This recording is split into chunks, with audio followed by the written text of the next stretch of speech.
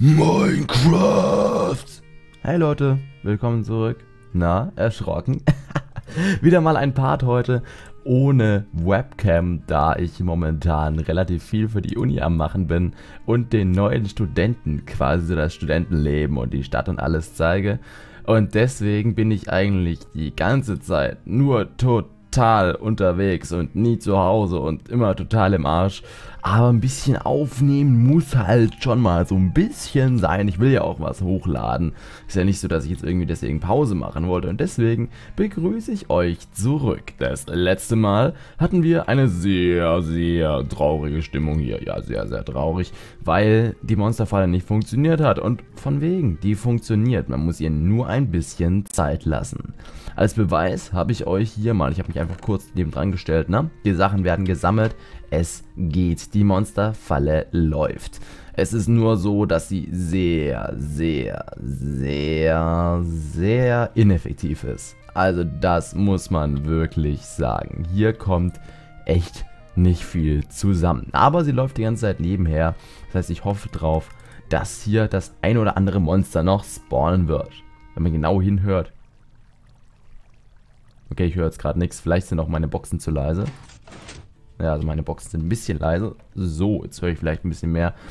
Also hier spawnen schon Monster und alles. Es ist nur halt immer eine Sache, äh, ja, ob sie gerade Bock haben und es ist halt sehr langsam, aber da wir uns die meiste Zeit, also nicht in nächster Zeit, aber ansonsten eigentlich schon öfters mal hier aufhalten, sollte es kein Problem damit geben. Also hoffe ich. Ich muss eh irgendwann mal noch eine richtig geile Monsterfalle bauen, aber sowas sprengt normalerweise ein Minecraft Let's Play. Hm, nicht so geil. Heute können wir uns jetzt aber mal hier endlich um den Eingang von diesem Ding hier hm, kümmern. Ich habe nur noch keine Ahnung, wie wir das anstellen. Also ich hätte eigentlich gerne das Ding hier benutzt. Weil das wäre schon cool und so. Ich meine, das ist zwar stillgelegt und so und da geht auch keiner mehr runter. Aber ne, wenn wir hier sowieso runter müssen, können wir eigentlich auch hier einen Weg ins Eck reinschlagen. Weißt du, hier so einmal ums Eck, man kennt das ja schon. Und wenn hier eh Platz ist, dann ist das für uns nur umso besser. Ist das hier denn diese Höhle, wo ich nachher unten durchkomme? Ah, nee. Ah, ja genau, jetzt macht das auch das ganze Sinn. Wir haben uns ja schon mal in so eine Höhle reingegraben und dann war die Verwirrung groß. Hä? Was ist das denn jetzt? Wo kommt das her? Und jetzt ist es klar. Das ist diese Höhle, die wir da gesehen haben. Okay, wenn ich mich also jetzt hier hinuntergrabe, sollte ich theoretisch... Moment, wir müssen mal kurz hier gucken, auf welcher Höhe wir das Ganze machen, wenn man hier runterkommt. Das heißt, ab hier geht es runter, okay? Sollte ich ja theoretisch irgendwann in meiner Monsterfalle drin landen. Also im Idealfall. Also vielleicht. Also ich habe keine Ahnung, wo ich rauskommen werde. Aber hey, ein Versuch ist es wert, oder? Okay, das sieht schon mal gut aus. Okay, das ist schon mal gar nicht so gut. Aber immerhin wissen wir jetzt ungefähr, wo wir sind. Ich würde ja gern hier hinten durchkommen. Und ich frage mich gerade, ob ich das tatsächlich mit einer Treppe jetzt machen will oder mit einem Fahrstuhl. Hm, hm, hm, hm, hm, hm. Das heißt, dann muss ich es schaffen, hier irgendwie durchzukommen. So. Hier ums Eck, da müsste man eigentlich hier runter und dann links. Vielleicht ist das sogar die bessere Wahl, weil dann hätte man ungefähr den Abstand, den es braucht. Wir nehmen den linken Gang. Das waren insgesamt jetzt 1, 2, 3, 4, 5 Stufen. Also ungefähr hier. Ja, hier ist gerade schön Stein. Hier kloppe ich mich mal rein. Und komme direkt richtig raus. Wow, das hätte ich jetzt nicht erwartet. Das ist ja richtig gut gelaufen. Na, siehst du mal, das ist der Vorteil, wenn man alles immer auf einer Stelle und sowieso baut, dann hat man es bei solchen Dingern immer ein bisschen einfacher, weil man muss nie weit graben, um zum nächsten zu kommen. Ah ja, das ist doch schon mal gar nicht so schlecht, dann können wir nämlich hier quasi, ja, unseren, unseren Minenschacht hier wirklich endlich mal absolut stilllegen.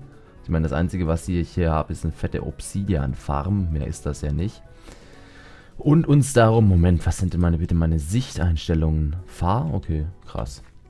Und uns darum kümmern, dass man hier vernünftig reinkommt. Aber das gefällt mir schon sehr gut hier. Erstaunlicherweise. Meine Stimme ist heute auch wieder im Arsch. Man merkt es, glaube ich, ein ganz kleines bisschen. Und mir wird schwindlig, wenn ich die ganze Zeit so tief spreche, wie ich normalerweise immer spreche. Ich meine, normalerweise, man merkt das ja, wenn ich weiß es ich, wenn ich irgendwelche Vlogs oder sowas aufnehme, ich spreche ja eigentlich gar nicht so tief. Also eigentlich schon ziemlich, aber nicht so tief. Und wenn es dann aber soweit ist und ich so ein Video aufnehme, dann haue ich immer in der Sprache rein wie sonst was, weil es mir einfach Spaß macht, diese, diese tiefe Stimme da. Das ist. ich werde da auch manchmal, weil das ist, ja, diese Kommentatorstimme, sage ich mal, äh, wenn ich mit Freunden unterwegs bin, blöd angeguckt, weil normalerweise rede ich ungefähr so, also das ist so meine normale Sprechstimme. Weißt du, wenn ich mich mit anderen Leuten unterhalte, dann ist sie ungefähr so. Aber wenn ich dann anfange, laut und deutlich und mit hervorgezogenem Bass zu sprechen, ist das natürlich ein ganz anderer Klang. Ja, also, wenn meine Stimme nicht so im Arsch wird, das auch noch besser rauskommt, als es jetzt rauskommt. Aber ich glaube, ich habe ungefähr vermittelt, um was es mir geht. Ich habe vor allem vermittelt, dass ich nichts mehr zu essen habe. Scheiße. ja, ich würde mal sagen, wenn man eine Küche hat. Ah, nee, guck mal, wir sind doch in einer neuen Version unterwegs. Oh, ist das edel, Alter. Das ist echt edel. Ah, das ist so ein Vorteil, wirklich. Und ich spiele nach wie vor gerade hier ohne Shader, weil es so schon, äh, ja, nervig genug ist, da unten nichts zu sehen. Und im Shader, wenn man die ganze Zeit nur im Untergrund baut, ist es nicht unbedingt so viel besser. Es wird ja bald da hochgehen, da wo man hier so gerade ein bisschen was durchsieht dann geht das Ganze auch wieder bergauf. Alter, meine Stimme. Jetzt geht es darum, hier diesen Gang mal fertigzustellen. Das heißt, äh, hier diese Spielerei, die wir hier hatten, die äh, verschwindet jetzt wieder.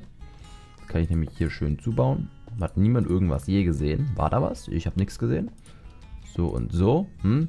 Alles ganz normal. Das hier können wir zubauen. Das hier können wir endlich mal zubauen. Meine Güte, ey. Bin ich hier rumgepfuscht. Äh, der Cobblestone hier ist mir herzlich egal. Und hier bauen wir jetzt eine Plattform rein. Es ist eigentlich ein schöner Eingang zu unserer Monsterfalle, muss ich sagen. Äh, hatte ich mir schlimmer vorgestellt.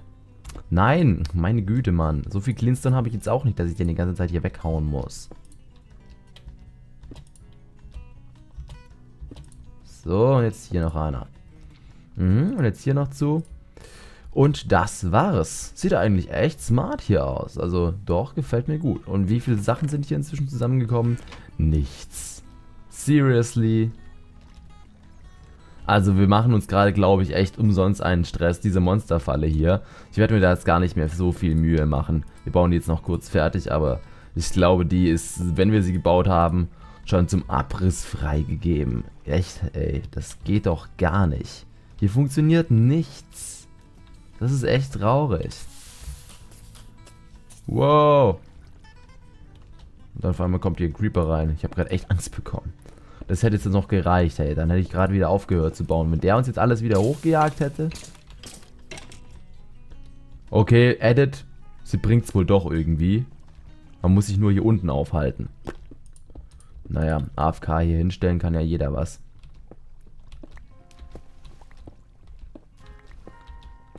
Ah, jetzt müssen wir uns noch hier drum kümmern. Ich würde sagen, da gehen wir einfach hin und setzen den Hebel woanders hin. Ähm, Redstone habe ich natürlich keins mehr, aber das müssten wir irgendwie hinbekommen. Weil ich möchte eigentlich hier vorne, so wie das ist, das gefällt mir ganz gut. Also so ein bisschen, ja, man kann das hier natürlich noch alles schöner bauen, das ist klar. Es geht immer schöner und gerade an dieser Stelle könnte man jetzt natürlich das Ganze auskleiden und so und wie oben. Aber ganz im Ernst, ich lasse es jetzt erstmal so. Diese Monsterfalle ist jetzt nicht so Mords das Ding, sage ich mal, die Erfindung des Jahrhunderts, als dass ich jetzt hier großartig. Finde ich eigentlich echt ein bisschen traurig. Hätte ich geiler gefunden. Das können wir jetzt endgültig mal wegmachen. Aber naja, ist halt so.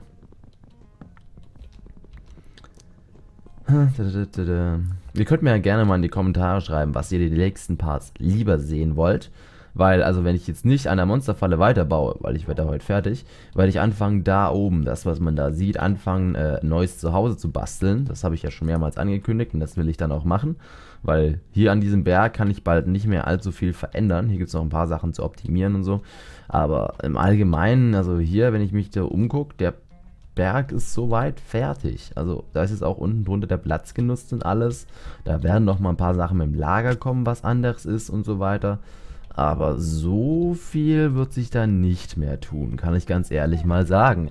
Und da oben will ich jetzt eben ein riesiges Farmhaus einrichten. Also ihr könnt mir gerne in die Kommentare schreiben, ob ich da oben weiter bauen soll oder ob ich davor noch die Monsterfalle perfektionieren soll. Also ich mache beides. Mir ist das relativ egal, weil das heißt perfektionieren ist das falsche Wort, schöner auskleiden, weil perfekt wird die nicht werden. Also mir fällt da jetzt auch auf Anhieb nichts ein, was ich machen könnte, um einen höheren Profit hier rauszuholen. Muss ich so sagen, weil hier geht einfach nichts. Die Falle ist scheiße. Sie ist zu klein. Monsterfallen braucht man so 50 mal 50. Das ist ein gutes Ding, aber so eine Monster so eine Monsterfalle zu bauen ist sehr, sehr aufwendig und das will ich eigentlich ein bisschen vermeiden. Oh, Test. Kommt die hier durch?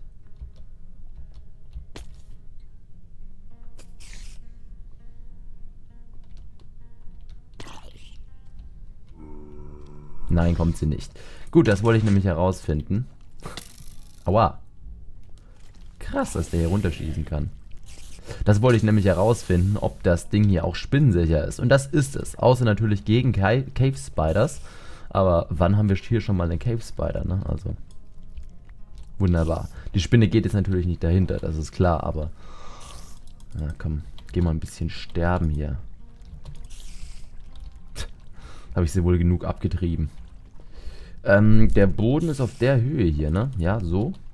Und das hier ist eigentlich eine Wand. Das heißt, ich kann eigentlich hier zum Beispiel den Hebel hinsetzen.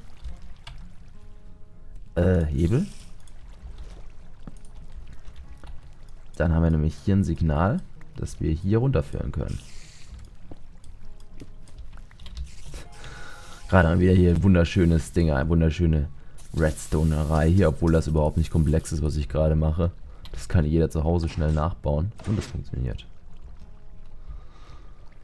Sehr gut. Ähm, jetzt gilt es, das nur noch jetzt zuzubauen. Ich möchte jetzt wirklich nicht mehr viel dran machen. Und wahrscheinlich reicht uns der Cleanstone nicht für den Boden aus. Ne, natürlich nicht. Na, dann halt noch ein bisschen Erde rein. Fällt gar nicht auf. Gut, also, so sieht es aus. Das ist ziemlich cool. Das funktioniert auch. Dann haben wir... Vielleicht sollte ich hier noch ausleuchten, dass hier noch irgendwas kaputt geht. Dann haben wir hier unsere Truhe, wo schon ganz okay, also dafür, dass die Falle so klein ist und so schnell gebaut gewesen, kann man das echt durchgehen lassen. Hier müssen wir noch Erde reinziehen. Oh. Habe ich denn auch überhaupt kein Glück, Alter? Komm her. Komm her.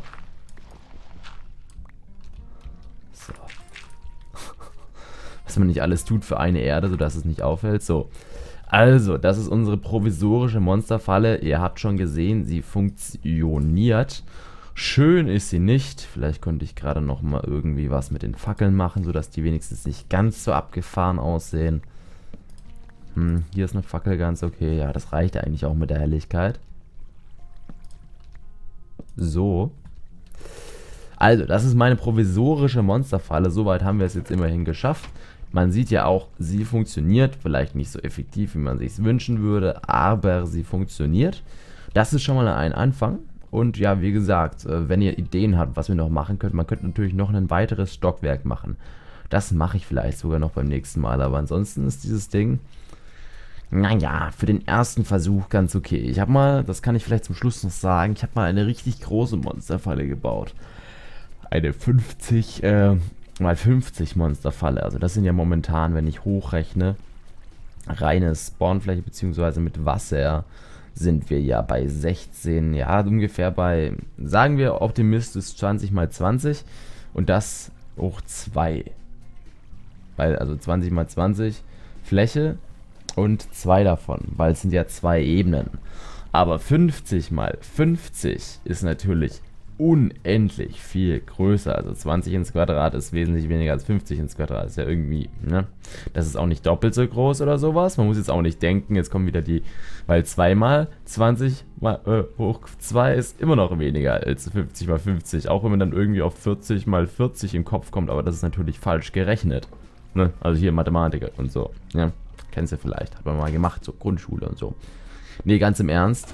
Ähm, die Falle ist infektiver als das, was ich mal gebaut habe, aber ich weiß auch, wie lange ich an dieser anderen Falle mal dran gesessen habe. Boah, das, das könnte man höchstens in einem Livestream machen und selbst dann weiß ich nicht, ob ich das wirklich will. Ah, ist das schön. Eigentlich müsste man hier irgendwo noch Glas reinziehen.